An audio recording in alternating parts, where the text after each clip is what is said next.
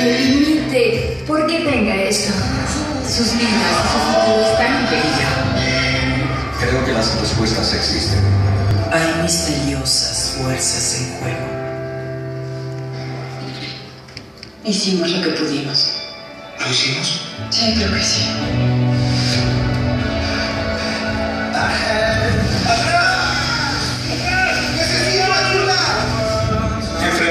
Tengamos que enfrentar.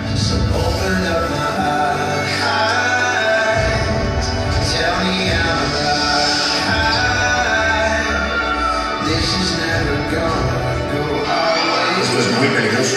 Se escapa, se escapa. ¡Maldición! ¡No funciona la radio! Él es el único que puede salvarnos. Estamos en esto juntos.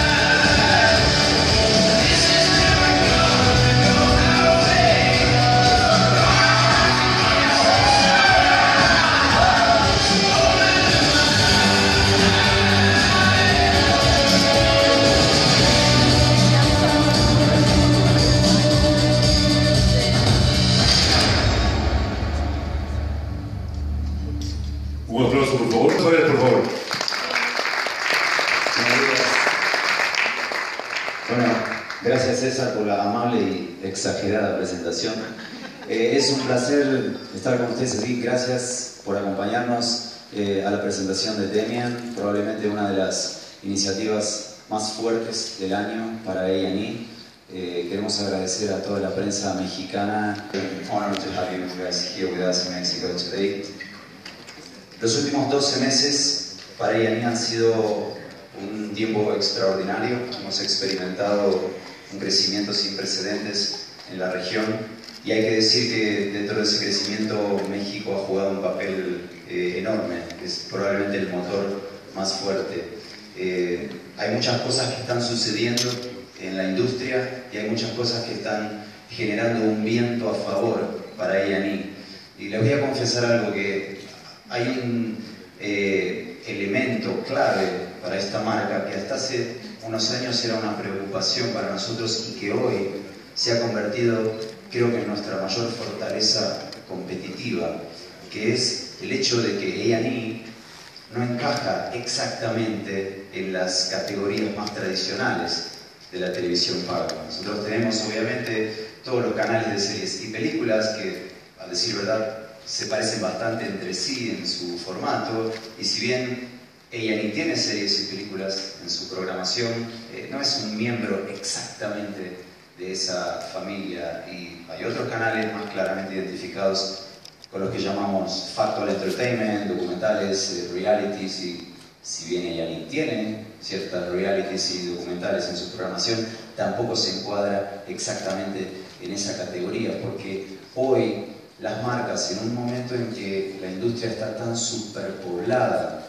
de ofertas de contenido y hay tanto para ver allá afuera, las marcas televisivas más que simplemente definirse por una cuestión de géneros, se definen como curadores de contenidos, como una conexión emocional con la que la audiencia se identifica y a través de las cuales eligen contenidos para ver en medio de este océano ilimitado de ofertas que existen hoy. Y si hay algo que ella a mí ha logrado construir en forma muy sólida durante estos años es esa imagen, por un lado, de alta calidad, de Yanni es percibido como un destino televisivo de alta calidad, pero por otra parte con un tono eh, intenso, provocador, en donde es difícil encontrar historias muy color de rosa en Yanni. En Yanni las historias son humanas, intensas, eh, en verdad la, la, la naturaleza humana es mucho más compleja de lo que en general se ve en las series de televisión y en ella ni los buenos son tan buenos ni los malos son tan malos y esa naturaleza humana es algo que se refleja en todos los géneros que ella ni aborda, tanto de la ficción como de la no ficción. Sin ir más lejos, el próximo lunes estamos estrenando un reality llamado Mi vida con síndrome de Down, que es muy provocador en su enfoque eh, distinto sobre eh, esta condición y uno como espectador, al ver las vidas de una cantidad de personas afectadas por el síndrome de Down, se pregunta por nuestros propios prejuicios y preconceptos. Cuando nos encontramos con personas que al igual que nosotros, viven, se enamoran, trabajan, tienen sueños y luchan contra sus propias limitaciones. Es un espacio televisivo que hoy no existe y que ella ni se siente eh, muy orgulloso de provocar la conversación y el debate sobre esos, esos temas tan polémicos. Lo mismo sucede con eh, el 20 de mayo vamos a estrenar la segunda temporada de algo que revolucionó un poco las redes sociales con Iani, que es eh, matrimonio a primera vista. Este experimento social en el que personas contraen matrimonio el mismo día en que se conocen, eh, poniendo un poco en tela de juicio las relaciones humanas, eh, la institución del matrimonio. Eh, ella es una marca que siempre está buscando ese tipo de conversación, de controversia, eh, de polémica y creemos que generar conversación hoy es un valor este, enorme para cualquier marca que quiera ser un curador de contenido y generar una conexión emocional con la audiencia. Del lado de la ficción, que obviamente es un pilar indispensable en esta oferta que mantiene A&E, obviamente vamos a mantener todos nuestros eh, éxitos que retornan año tras año, como NCIS Los Ángeles, NCIS New Orleans, eh, The Night Shift, eh, pero estamos introduciendo un segmento en el que creemos que A&E tiene mucho para aportar, que es este espacio de drama premium en el que, bueno, hemos estrenado en febrero Gangland Undercover, que es una producción de A&E Studios sobre eh, un personaje infiltrado en una banda criminal eh, que ha generado también mucha conversación lúgubre que tenemos hoy a pesar de las tempranas horas de la mañana. Eh, para todos aquí en la sala que tengan, como yo, un poco más de 40, y para aquellos que no, pero que han tenido la curiosidad de investigar, la película La Profecía The Omen es un ícono del cine de suspenso. Eh, la trama básicamente de la profecía tenía que ver con la historia de un matrimonio de diplomáticos que pierden un bebé pocos días después de nacido, el bebé muere y en medio de ese dolor deciden adoptar un bebé huérfano cuya madre había muerto al dar a luz. Y bueno, este bebé resulta ser el anticristo, ¿no? Tremenda puntería.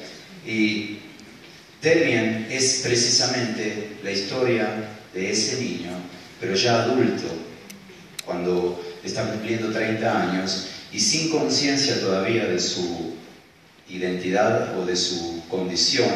Él es un fotógrafo profesional, es un corresponsal de guerra. La serie comienza de hecho con él en una misión periodística cubriendo un conflicto bélico en Siria y a los 30 años, que coincide con la edad del bautismo de Jesucristo, este niño Devin Thorne comienza a experimentar ciertas situaciones, comienza a cruzarse con determinados personajes que hacen cuestionarle y autodescubrir eh, su real condición y bueno, la serie tiene que ver con enfrentar o no ese destino que cae sobre su vida.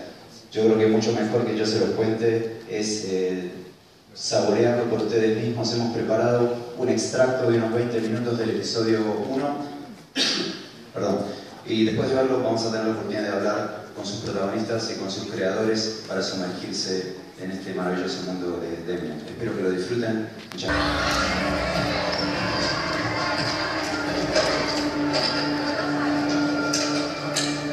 Feliz cumpleaños. ¿No lo olvidaste? Gracias, viejo, en serio. No me agradezcas. Invité al grupo al hotel esta noche. Cuando les dije que cumplirías 30 años, prometieron mucha diversión. Aún no me recupero del año pasado.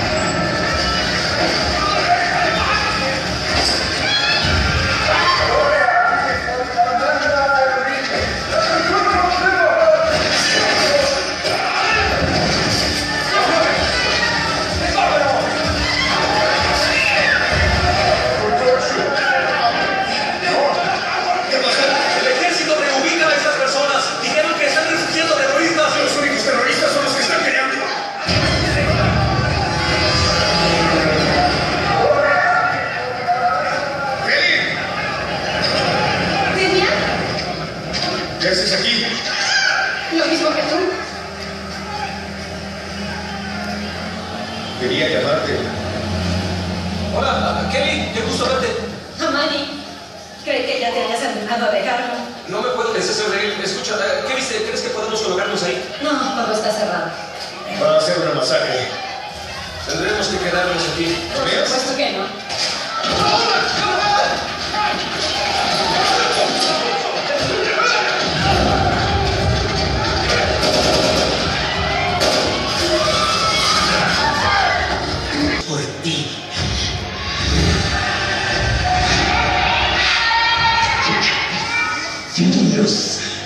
grace in active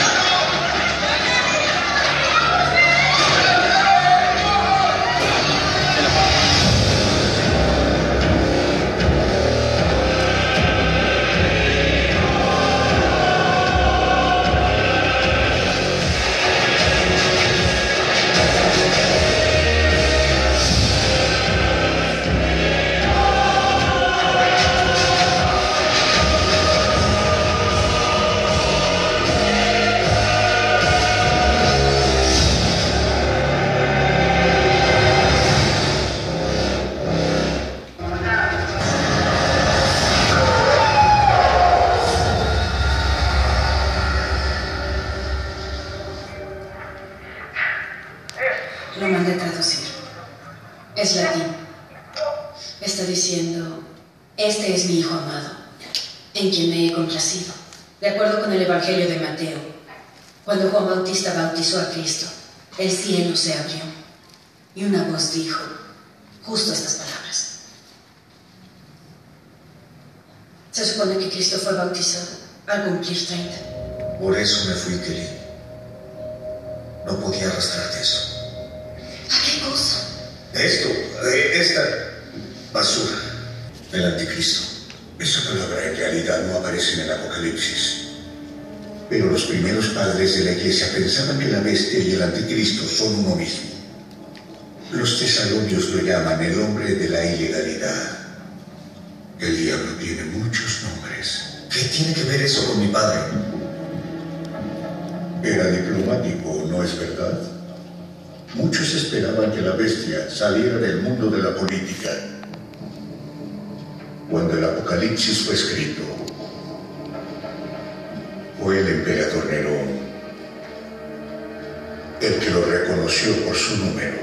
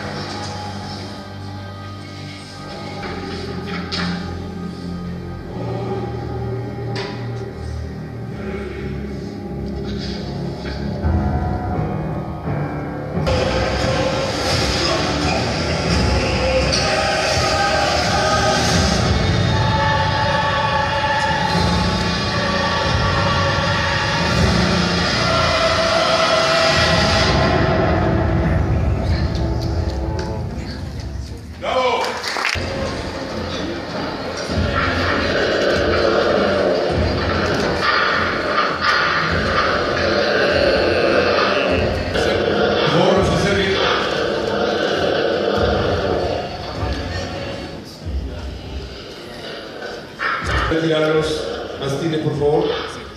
Gracias. Un aplauso, por favor. Para presentar a Glenn Mazara, el famoso productor, escritor, creador y generador de estas ideas tan importantes como Walking Dead y ahora Demian. Un aplauso para Glenn Mazara, por favor.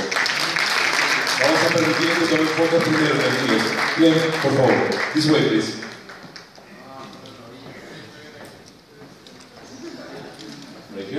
So they can take the pictures and everybody can be happy. Van a tomar fotos, el mundo va a feliz.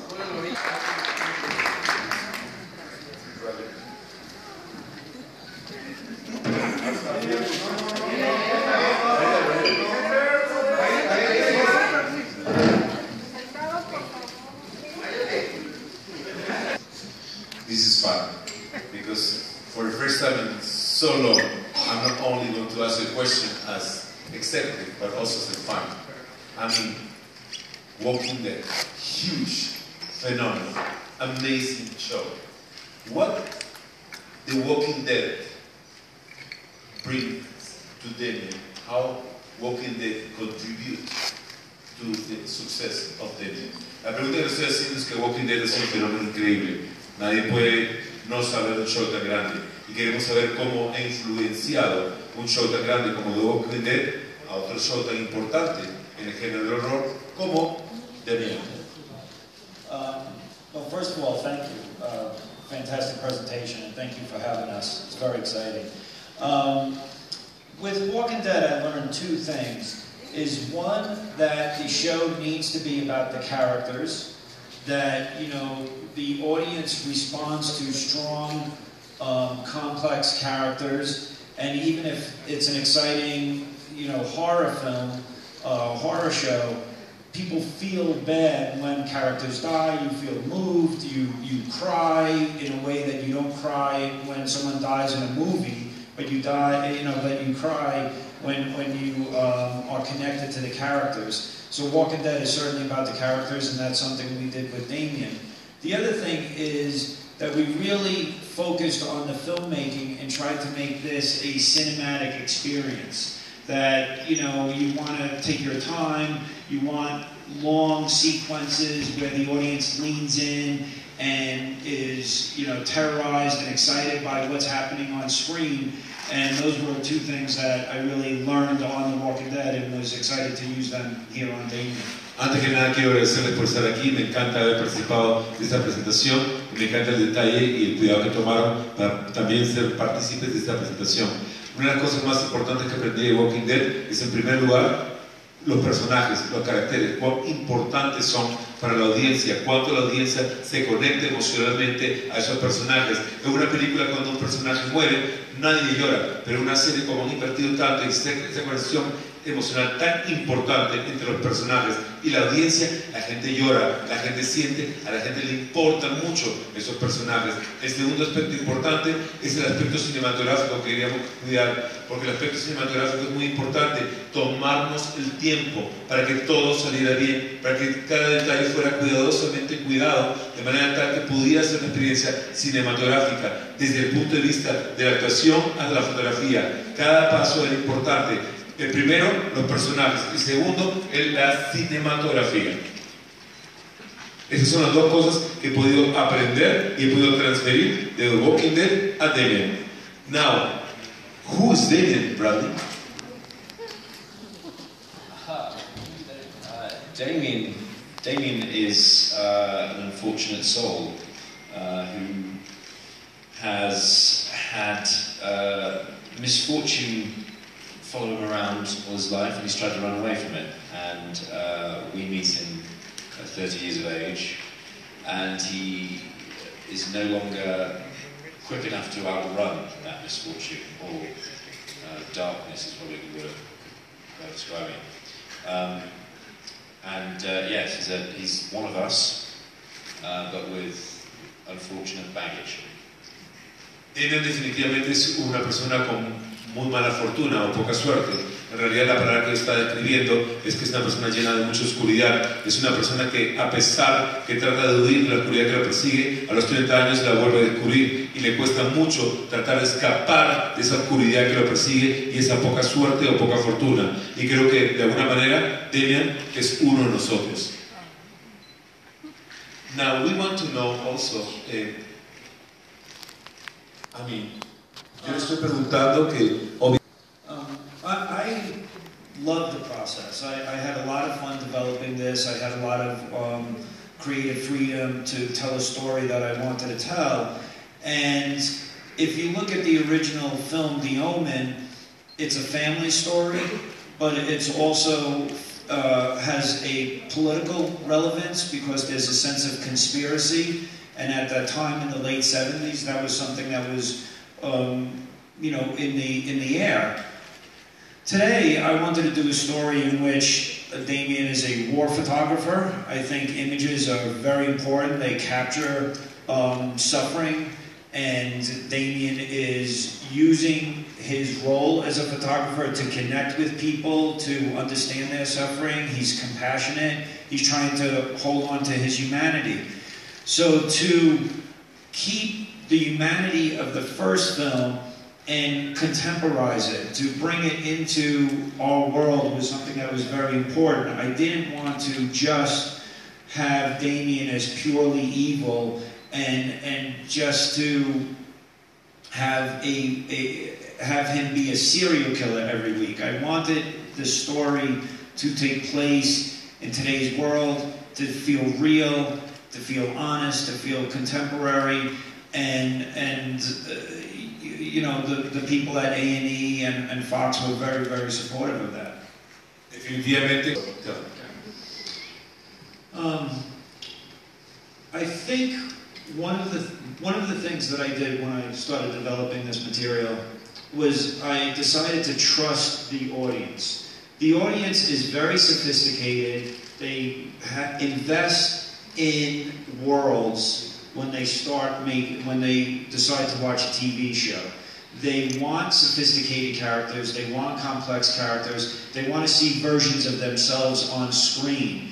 I don't think they necessarily want things to be spoon-fed. They don't want things to be dumbed down for them. They, they, they, you know, really will be patient if a story is well told. They'll understand when people are cheating or people are, are talking down to them. And so I think if you tell a sophisticated story and you add layers and then you say, okay, we're going to take our time and we'll pay off who the old lady is in a few episodes. And, and you answer those questions, but the audience will be rewarded for watching the show. They'll get the answers to their questions, but you have to trust that they are that they want smart questions asked. Okay, they don't want to be talked down to. They don't want just one boom, boom, boom. A show like this, they they, they want it to be challenging, and I, and and so I think if you write to that and you bring in talented actors and directors and writers who can help fill out that vision,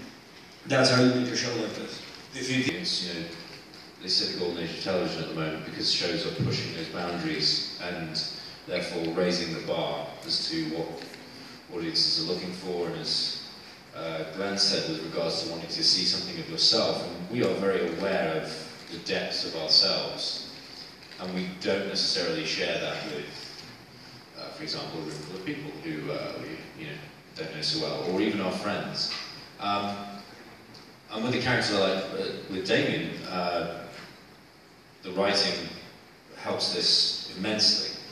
Uh, but you're essentially looking for the human being. You're looking for all those different colours of your paint palette that, that, that, creates us and everyone in this room, uh, including the tired man over there to this man scratching his head. You know, they all have like a, a, a wide variety of, of aspects to their personality. He's not always tired, he's not always scratching his head, sort of thing.